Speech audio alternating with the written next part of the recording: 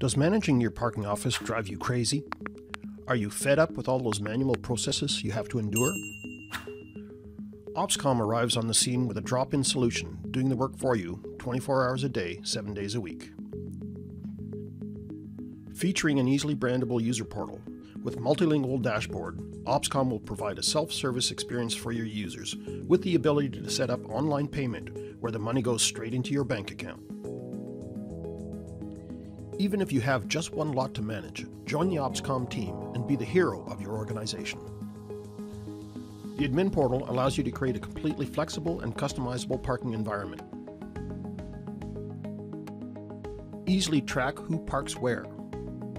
We can even help you end that ongoing fight between regular parkers and guest parkers. Communicate with your users right out of OPSCOM in bulk or one-on-one. -on -one. All that activity is stored, tracked, and can be reported on for standard analytics. Full control to maximize return on investment.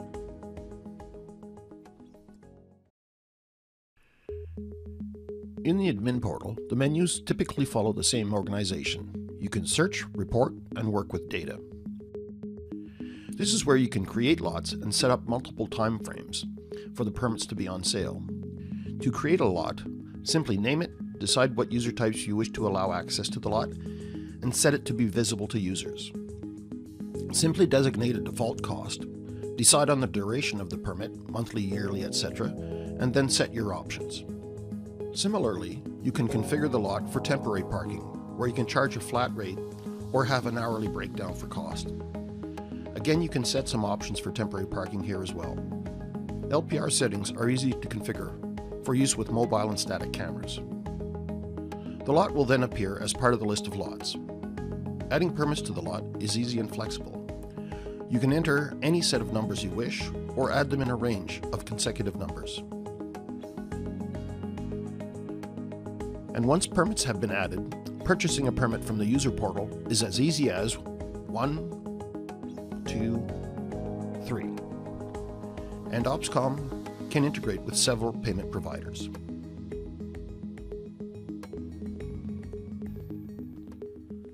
Retrieving all this stored data is easy with the powerful Quick Search tool that can be used to find people, vehicles, violations, financial transactions, and more.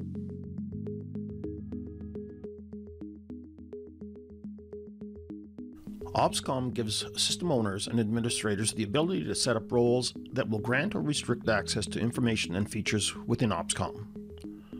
Users can be assigned multiple roles. OPSCOM has some standard roles pre-populated that can be edited to match your business rules. We are looking at a primary admin role.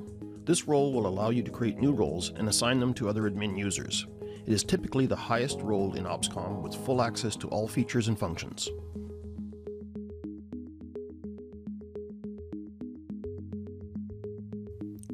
Temporary parking is a flexible solution that gives your parkers the ability to select short-term hourly, daily, or long-term parking, with options that even allow the admin to give parkers temporary parking at specific times of day or days of the week. OPSCOM uses both cloud as well as LTE technology to access its platform. With wired and Wi-Fi connections, using the OPSCOM web portal, temp permits can be purchased by users or assigned by admins. Pay by plate can be done through integrated meters. Parkers can also purchase and manage temporary parking using Text to Park Me as well as integrated third-party apps. All of these systems work in tandem to communicate with OPSCOM. Let's have a look at what registered parkers can do. Registered parkers purchase temporary parking directly from the user portal. They can also use Text to Park Me when they have a registered phone and credit card entered in the system. Limits can be set and parkers can extend their time easily when needed. Not all parkers need to be registered with an account in OPSCOM. Admins can create a virtual validation for any vehicle using the OPSCOM Validator tool for registered and non-registered users alike. The Validator tool can also function in a more granular advanced mode, providing further control. The Validator tool also allows for detailed validation reporting. Additionally, OpsCom can integrate with pay by plate meters, where parkers can purchase virtual permits directly in the lots where they park.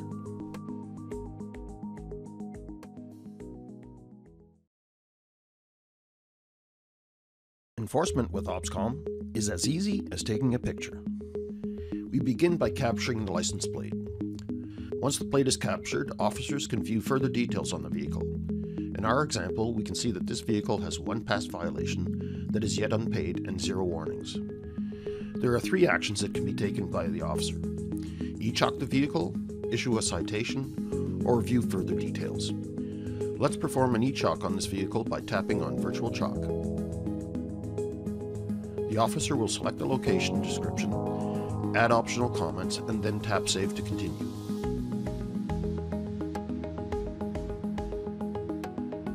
For demonstration purposes, we'll read the plate 7 minutes later.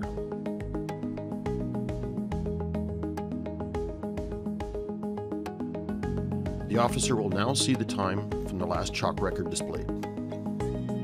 We can now issue a warning or a citation by tapping on New Violation.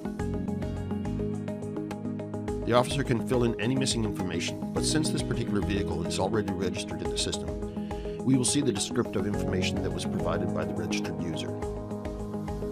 In this example, the officer will select parked with an expired parking permit as the offense. At this point, we can save and print the ticket to place on the vehicle.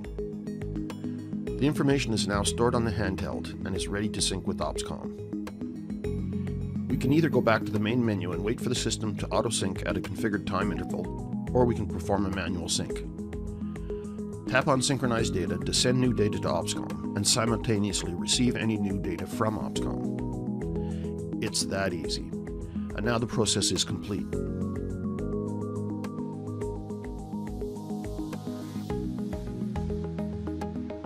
In addition to plate search, OPSCOM can also search by permit number and have all the same functionality as a plate search.